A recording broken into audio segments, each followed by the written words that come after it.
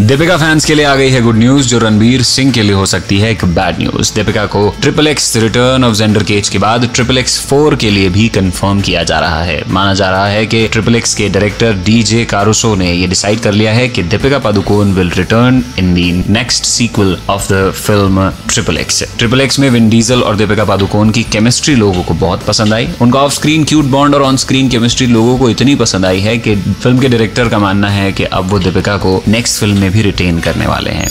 जब एक फ़ैन ने उनसे ये पूछा कि hey sir what's the movie's title did you replace any co star in the sequel और that all are brought back तो उसका जवाब डायरेक्टर डीजे कारुसो ने दिया था ऑल कमिंग बैक ये एक एक्साइटिंग न्यूज़ है क्योंकि इसमें सबके लौटने की भी प्रोबेबिलिटी बढ़ जाती है, जो ट्रिपल एक्स सीरीज़ से जुड़े हैं। Ruby Rose Vin Nina Dobrev Deepika Padukone and everyone will be a part of this film